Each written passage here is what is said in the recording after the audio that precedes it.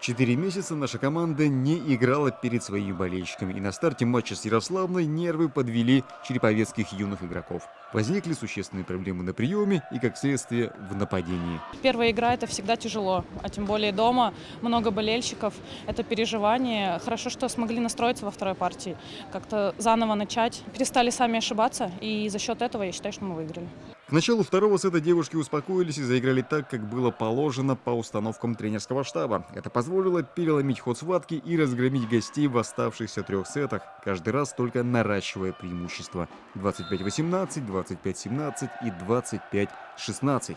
В итоге получилась достаточно уверенная победа со счетом 3-1. В очередной раз сын Захар Пилипенко смог обыграть команду отца Владимира Пилипенко. Но Владимир Дмитриевич не в обиде. Ну, я уже больше переживаю за него, чем за себя, чтобы у него все получилось. Потому что, как говорится, ему расти надо э, в плане тренерском, так сказать, чтобы просто был, чтобы видно было, что команда играет, работает, все. В других матчах дня фаворит финала Уфимочка спокойно взяла верх над командой из Барнаула 3-0. Московский луч в упорной борьбе уступил сильнейшей команде с Востока, Иркутской Ангаре 2-3. Именно с иркутянками Северенко-2 сыграет 2 марта. Очень понравилась команда из Иркутска Ангара.